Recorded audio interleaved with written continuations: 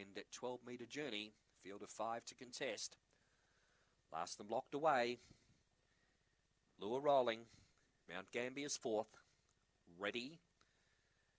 And away. Favourite jump well. Mustang Molly lead settling down. Santino Gold, though, comes across early. And as they head into the back, and Santino Gold the in, outside, and Mustang Molly again hunts up to lead. In third placing footprint, followed by Mrs. Cameron, Myola Red Boy back at the rear.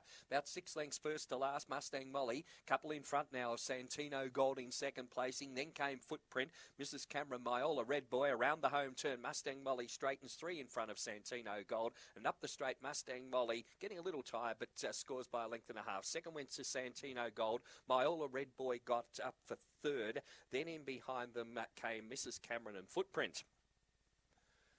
Favourite too good for them, Mustang Molly.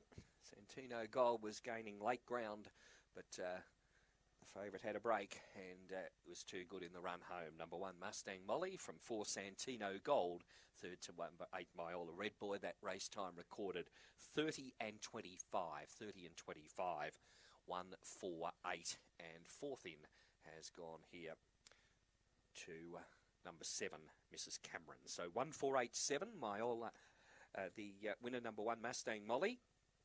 This uh, Greyhound, a white and black bitch, May 19 by Fernando Bale from You Know Susie.